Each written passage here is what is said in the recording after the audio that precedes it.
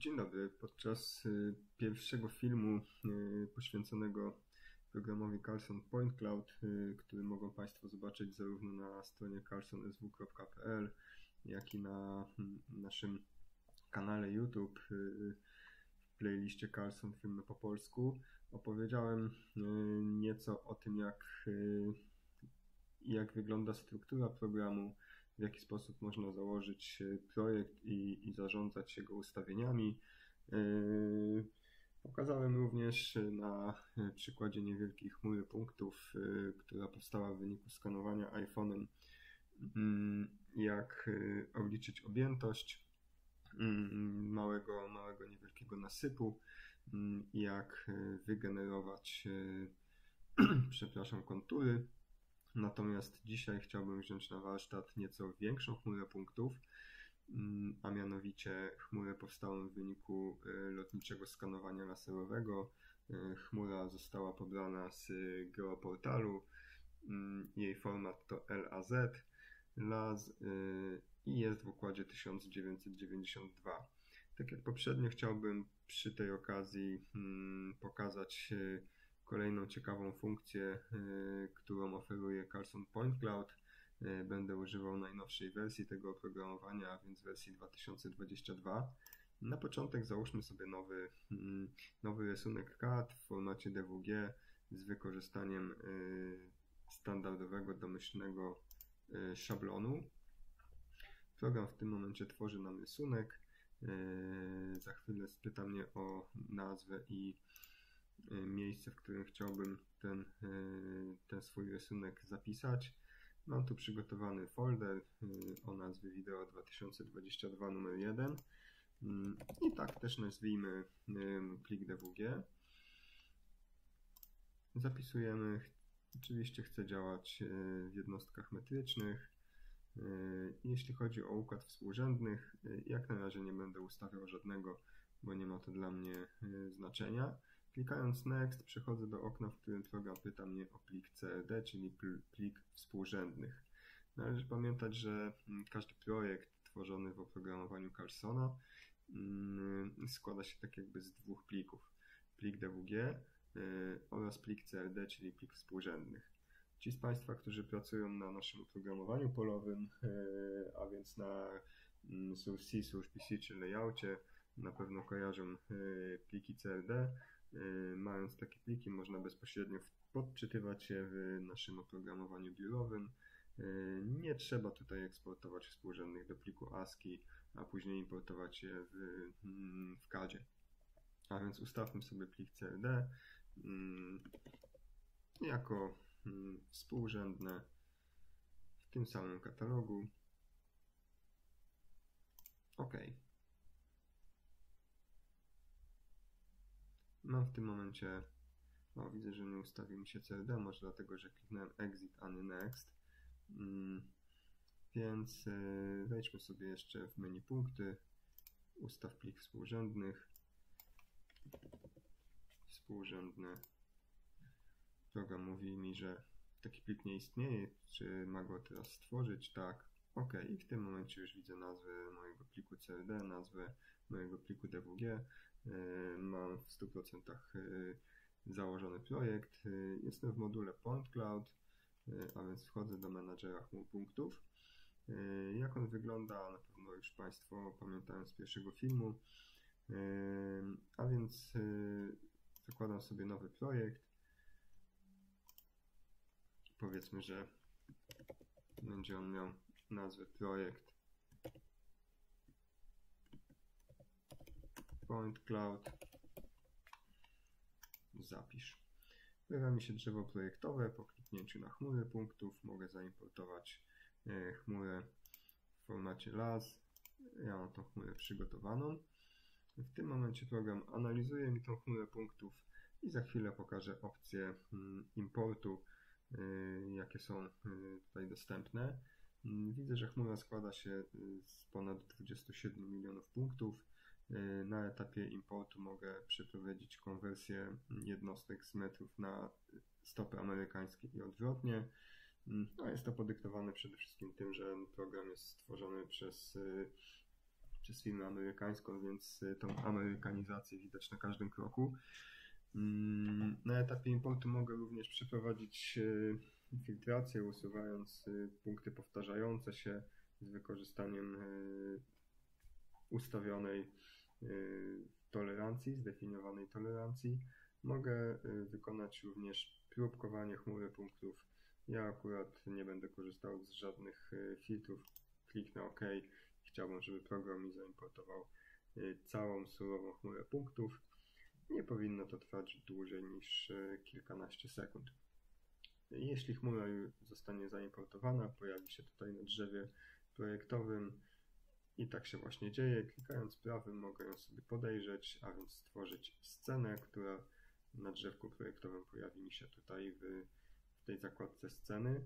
Y, niech to będzie scena o nazwie chmura punktów. Klikam OK i wyświetla mi się dodatkowo okno z chmurą punktów. Proszę zobaczyć, że jest tutaj y, chmura, która zawiera bardzo dużo roślinności, zadrzewienia, słupy wysokiego napięcia, y, linie napowietrzne wysokiego napięcia, a także trochę szumów.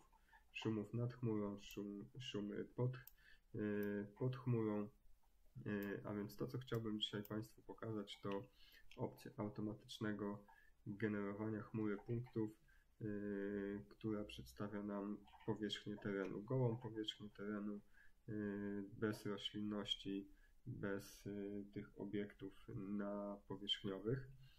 Mm. Aby to zrobić, przychodzę do zakładki akcje i na początek muszę podjąć decyzję, czy chciałbym ten proces przeprowadzić na całej chmurze punktów, czy tylko na jej części. Jeśli chciałbym to zrobić na jej części, mogę yy, na przykład wskazać część przez yy, jakiś wielobok, czy też polilinię, jeśli jakąś mam już narysowaną. Ja akurat chciałbym to zrobić na całej chmurze punktów, a więc zaznaczam całą chmurę punktów i korzystam z funkcji BRF, która odpowiada za wyodrębnienie powierzchni terenu. Yy, jest to możliwe na w dwóch trybach. Y, ja akurat y, tutaj będę korzystał z trybu przez siatkę grid z komórką o rozmiarze 2 metry. Mogę tutaj ustawić dodatkową filtrację, wysokość krawężnika, jeśli chciałbym, żeby one po mm, tym wyodrębnieniu zostały zachowane, aby móc je później szybko mm, zwektoryzować. Zostawię mm, tutaj te wszystkie ustawienia domyślne, nie będę nic zmieniał. Zmienię jedynie nazwę chmury, która ma powstać na powierzchnię terenu. Klikam OK i program automatycznie mm, klasyfikuje mi tą powierzchnię terenu, usuwa y, niepotrzebne punkty i generuje nową chmurę punktów, która pojawi się y, jako oddzielna chmura tutaj w drzewku projektowym.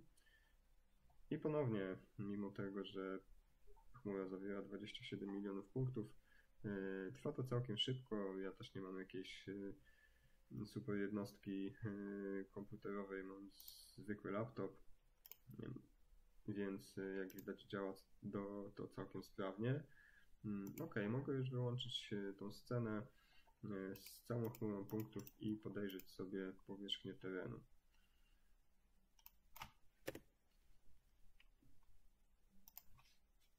Klikam OK i widzę teraz, że ta moja chmura punktów wygląda zupełnie inaczej. Tak jak poprzednia jest y, pokolorowana po wysokości i widzę tutaj jakiś nasyp, który jest bardziej czerwony. Widzę też yy, tereny yy, płaskie, oznaczone kolorem niebieskim. Widzę też, że y, gdzieś tam ta funkcja BRF nie nie wyodrębniła, nie usunęła mi wszystkich punktów, no jak każda automatyczna funkcja y, czasami nie działa tak w 100% dobrze, ale na szczęście możemy sobie mm, manualnie usunąć tego typu y, niedoskonałości. Y, jest ich naprawdę niewiele jak na tak, tak duży wycinek. Jak to zrobić? No, na przykład zaznaczamy właśnie ten wycinek punktów przez wielokąt i Klikamy usuń, tak aby usunąć y, zaznaczone obiekty. Mm, o, widzę, że na przykład tutaj też jest, y, też jest taka podobna sytuacja, więc y, ponownie zaznaczam sobie punkty przez wielokąt usuń OK. I w ten sposób mogę sobie jeszcze dodatkowo ręcznie przeczyścić całą chmurę punktów, ale jak widać wygląda ona całkiem nieźle. Mm, mamy tutaj pozostałości po budynkach, nie ma już słupów, zadrzewienia, widzimy kontury dróg i tak dalej. E, a więc to jest funkcja, która odpowiada za wyodrębnienie powierzchni terenu e, i tak naprawdę już na podstawie e, na podstawie tak wyodrębnionej powierzchni możemy stworzyć sobie chociażby siatkę, siatkę TIN. Spróbujmy to zrobić. A chciałbym wykonać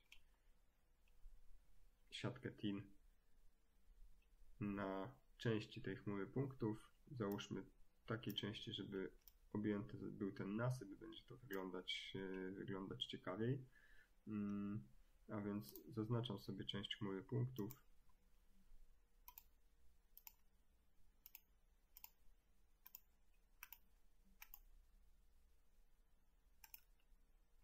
OK. Chciałbym teraz wygenerować TIN. Siatka TIN ma być dodana do projektu.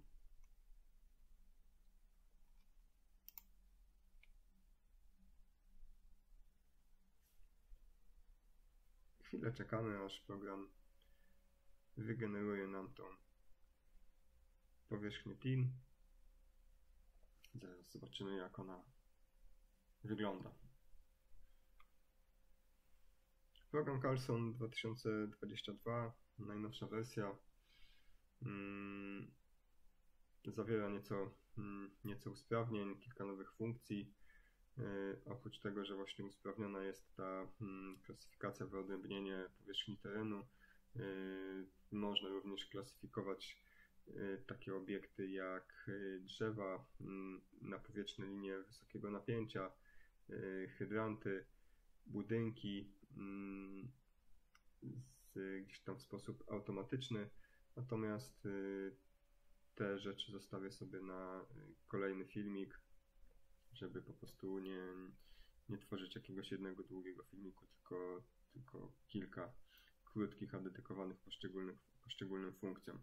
Oczywiście oprócz nowości są y, te opcje, które już od jakiegoś czasu istnieją, a więc na przykład generowanie linii nieciągłości, y, konturów, profile, przykroje, mm, płaszczyznę, przecięcia, y, krawężniki, obliczanie objętości, o właśnie te linie, linie wysokiego napięcia na powietrzne. Color lines, tutaj jeśli na przykład skanujemy lotniczo miasto i mamy jakiś parking, chcemy wygenerować szybko linie, linie parkingowe, możemy to zrobić w sposób automatyczny tutaj w Point Cloud, to też postaram się pokazać przy kolejnej okazji. Ok, team został wygenerowany. Mm. Zaraz zobaczę, czy on się nam tutaj zapisał.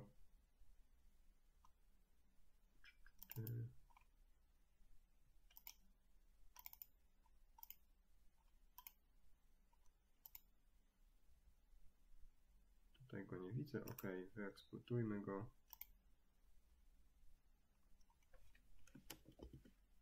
TIN. Zapisujemy. Ok, zapisaliśmy sobie mm, siatkę TIN, którą później podejrzymy w środowisku, w środowisku kadowskim.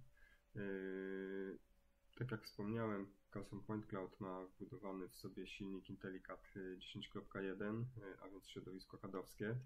Yy, to sprawia, że przejście z chmury punktów do środowiska CAD może odbyć się bardzo, bardzo płynnie, wręcz niezauważalnie. Zróbmy taki przykład. Wejdę jeszcze tylko w ustawienia i sprawdzę ustawienia kadowskie. Jeśli rysowałbym teraz jakieś punkty, polilinie, czy dodawał tekst tutaj na tej chmurze punktów, one automatycznie pojawią mi się mm, w środowisku CAD. E, chciałbym to pokazać, natomiast chciałbym to pokazać jedynie na, na jakimś niewielkim wycinku e, tej chmury punktów, więc zaznaczę sobie jakiś mały wycinek, no powiedzmy to skrzyżowanie, żeby było coś charakterystycznego. Mm, chciałbym wygenerować nową chmurę punktów, czyli mój zaznaczony region. OK.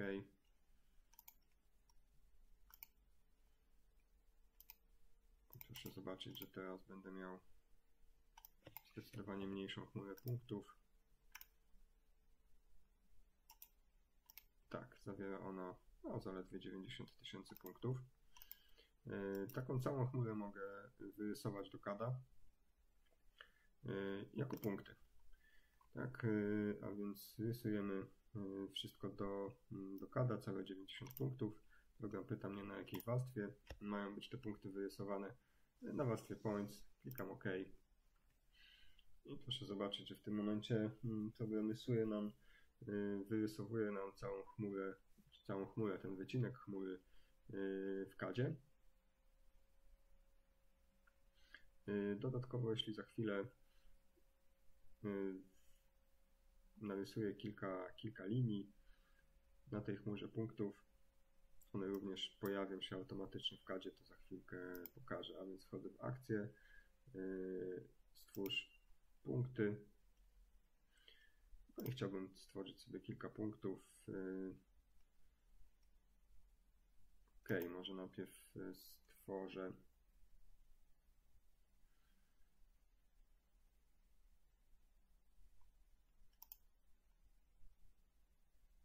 warstwę, warstwę, ok, niech będzie na warstwie zerowej, kilka punktów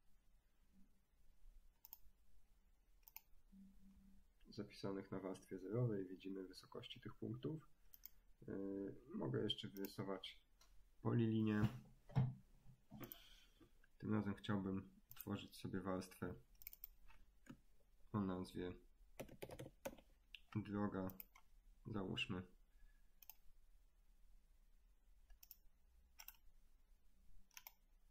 zakończ po linię. No, nie robię tego jakoś super dokładnie.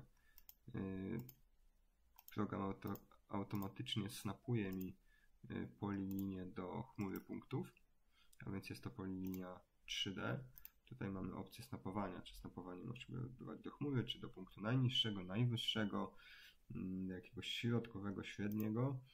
Ja po prostu yy, korzystam ze standardowego snapowania do chmury. Ok, stworzyłem kilka punktów, stworzyłem polilinię, wyrysowałem punkty w kadzie, a więc teraz jeśli wyłączę yy,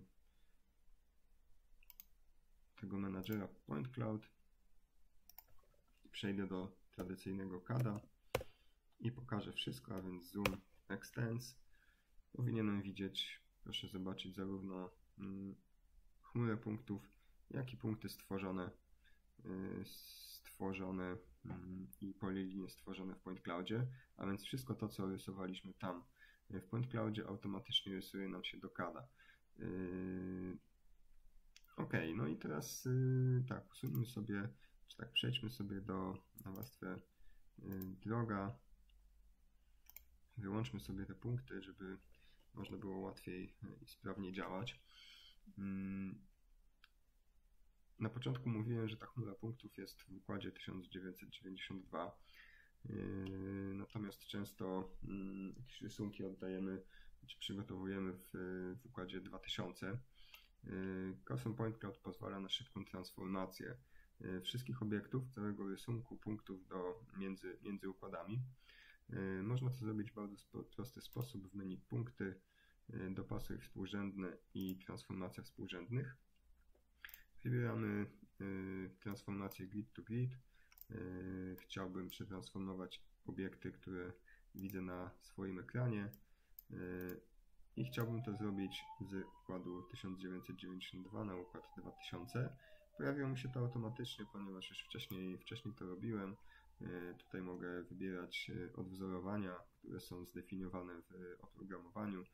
Mm, tutaj widzimy strefę siódmą, jeśli chciałbym dodać inną strefę, po prostu wybieram nasz kraj i wybieram jakąś inną strefę układu 2000. Mogę również y, zdefiniować swój układ współrzędnych, jeśli znam jego, y, jego parametry. Y, no ja wiem, że chciałbym tutaj dokonać transformacji z układu 92 do układu 2000 w strefie 7. Oczywiście oba układy w metrach. Klikam OK, program pyta mnie, aby pyta mnie o zaznaczenie obiektów, które chcę przetransformować. Yy, a więc może, może jeszcze w chwilę obecną przetransformuję sobie wszystko, a więc całe punkty i, i punkty i obiekty. Więc jeszcze raz adjust coordinates, yy, transformacja grid to grid. OK, zaznaczam wszystkie obiekty. Klikam Enter i w tym momencie program rozpoczyna transformację. Na dole pojawia się mm, pasek postępu, który pokazuje stopień yy, zaawansowania.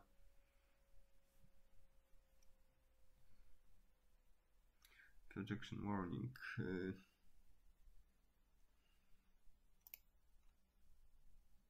Ok, zobaczmy co się stanie. Nie wiem czy wybrałem dobrą strefę.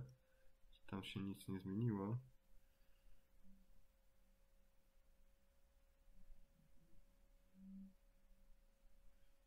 Nie zwróciłem uwagi, czy rzeczywiście na początku był układ 92 jako źródłowy, a jako docelowy 2000 mm, strefa 7, ale zaraz się o tym przekonamy.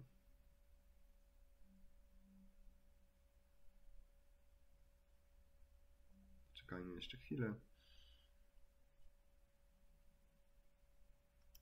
Ok, wszystkie obiekty powinny mi zniknąć, to się zgadza. Jeszcze raz opcja pokaż wszystko. Wejdę jeszcze raz w tą opcję transformacji współrzędnych. Z 99, 1999 do strefy 7. Ok, teoretycznie wszystko powinno być ok. E, teraz, żeby przeprowadzić kontrolę, e, wejdę w ustawienia rysunku i e, zdefiniuję tutaj układ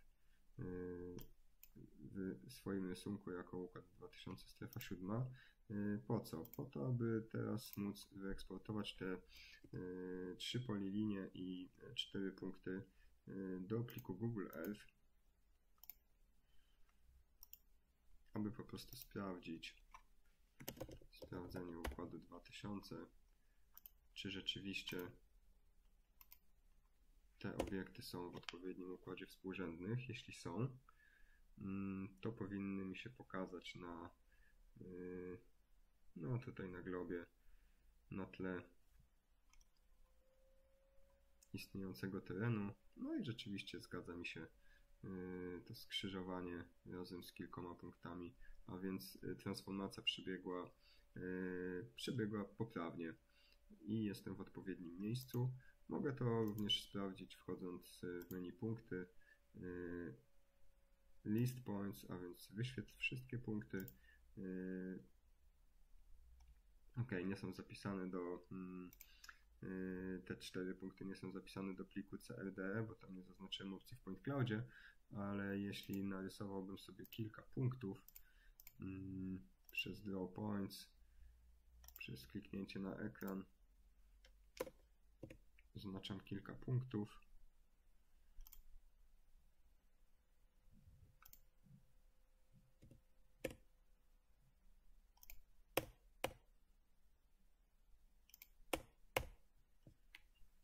I teraz jeśli wyświetlę te punkty, to zobaczę, że współrzędne rzeczywiście wskazują na układ 2000, wysokość 98 z kawałkiem. Ok, jedna z ostatnich rzeczy, które chciałbym szybko pokazać, e, to zmiana wysokości. Zdarza się, że chmura punktów e, bywa przesunięta e, w pionie. Jeśli chciałbym szybko zmienić wysokość całego mojego rysunku o zadaną wartość, mogę to w bardzo prosty sposób zrobić w menu edytuj, zmień wysokość poprzez wpisanie po prostu różnicy. Ja tą różnicę wprowadzę nieco większą, yy, powiedzmy minus 1 metr, yy, bo proszę zauważyć, że zmieniam wysokość tylko obiektów e, wyrysowanych, tych, tych polilinii i kilku, kilku punktów, natomiast wysokość mojej chmury pozostała niezmieniona. A więc jeśli teraz wejdę sobie w widok, widok 3D, i pokaż y, rysunek widoku 3D. Zaznaczam wszystko, klikam Enter to powinienem widzieć różnicę mm, tej wysokości, a więc powinienem widzieć chmurę punktów na wysokości 98 metrów z kawałkiem oraz obiekty kadowskie nieco, nieco niżej. No i rzeczywiście one znajdują się pod chmurą. Jeśli zmienię sobie skalę wertykalną na nieco większą, to zobaczą Państwo lepiej, że, mm, że rzeczywiście te obiekty kodowskie są y, pod y, chmurą punktów. A więc w taki sposób można przetwarzać nieco większe zestawy danych y, za pomocą oprogramowania Carsona Point Cloud. Szybki import, filtracja, obróbka chmury punktów, przetworzenie jej, wektoryzacja bezpośrednio do CADa, yy, automatyczne, mm, automatyczny zapis do pliku DWG, czy też eksport do, mm, do LandXML-a, jeśli jest taka potrzeba. Yy, a więc yy, mnóstwo różnych opcji do, mm, do wykorzystania. Yy, oczywiście, jeśli mamy swojego drona i prowadzimy yy, naloty fotogrametryczne, możemy skorzystać z oprogramowania yy, Carlson Photo Capture. To jest nasze oprogramowanie do przetwarzania nalotów fotogrametrycznych. I mając chmurę punktów stworzoną właśnie w tym oprogramowaniu, możemy później zaimportować ją do Carsona Point Cloud. Dodatkowo obrobić i zwektoryzować, y, aby, aby otrzymać y, gotowy, y, gotowy produkt. A więc pełne rozwiązanie od nalotu do mm, finalnego produktu. To wszystko można zrobić w ramach pakietu programów Carlson. Serdecznie zapraszam do odwiedzin strony internetowej, mm, gdzie można przeczytać więcej o oprogramowaniu, sprawdzić broszurę. Można też yy, wypełnić formularz i otrzymać 30-dniową yy, wersję demonstracyjną. Jeśli wypełnią Państwo formularz, prześlę, prześlę Państwu mailowo link do pobrania programu i 30-dniowy numer seryjny, tak aby można, można było przetestować program przez 30 dni za darmo, bez żadnych ograniczeń. Mm, a więc y, zachęcam do, do przetestowania, do sprawdzenia, bo naprawdę y, warto. Niebawem postaram się pokazać kolejne, kolejne opcje mm, dostępne w, w Point Cloudzie. Y, tak jak widzimy w opisie tej nowej wersji, nie tylko ta klasyfikacja gruntu, ale również klasyfikacja takich obiektów jak krawężniki, pasy miejsc parkingowych, budynki, ogrodzenia, słupy, drzewa. To o czym wcześniej wspomniałem, można to robić automatycznie. Yy, postaram znaleźć się, yy, postaram się znaleźć jakiś, yy, jakiś fajny przykład, ciekawą chmurę punktów, tak aby, aby zaprezentować właśnie te, te opcje. Ok, na koniec jeszcze tylko wejdę w widok, widok 3D i zamiast pokazać rysunek, chciałbym jeszcze sprawdzić plik powierzchni. Ten plik powierzchni, który, który wygenerowałem. Zobaczymy, czy rzeczywiście mm, dobrze się wyeksportował. Ok, jest, y, jest odpowiednio, y, odpowiednio y, wygenerowany. Widzimy tutaj powierzchnię, możemy ją sobie pokolorować po wysokości, tak żeby widzieć różnicę. Możemy zwiększyć skalę skalę wertykalną, skalę pionową. Proszę zobaczyć, że stworzona została siatka, siatka TIN. Yy, no tutaj tak słabo wygląda ze względu właśnie na tą yy, skalę. No tu już wygląda, wygląda lepiej. W miejscu, gdzie były budynki, yy, po prostu są, są dziury, załatane dziury ale widać, że siatka TIN tworzona jest y, poprawnie w Point Cloudzie. Szybki eksport, y, możemy sobie podejrzeć później, czy, czy wszystko jest ok mm, i wykorzystywać, wykorzystywać dalej do, do, do dalszych celów. Ok, to wszystko, co, co miałem dla Państwa na dzisiaj y, i do usłyszenia niebawem.